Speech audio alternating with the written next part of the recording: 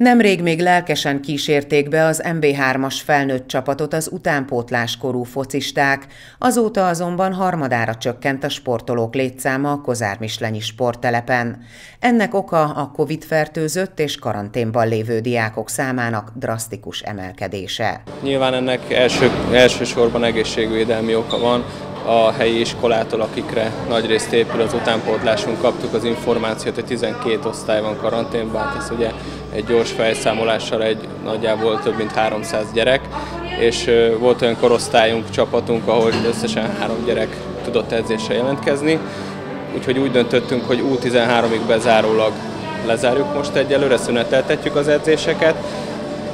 A 14-esek, illetve a fölött ők még edzenek, ami azért is fontos, mert ők még játszanak bajnoki mérkőzéseket. Ez egyelőre december 6-áig lesz érvényben.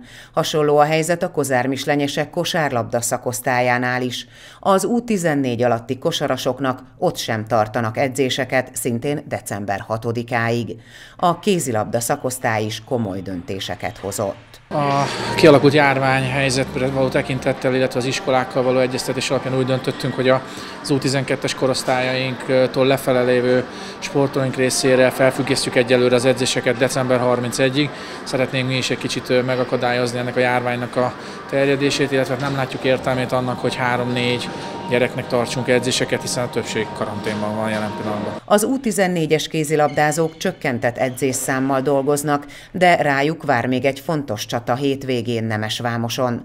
Az utolsó forduló tétje ugyanis az országos döntőbe jutás.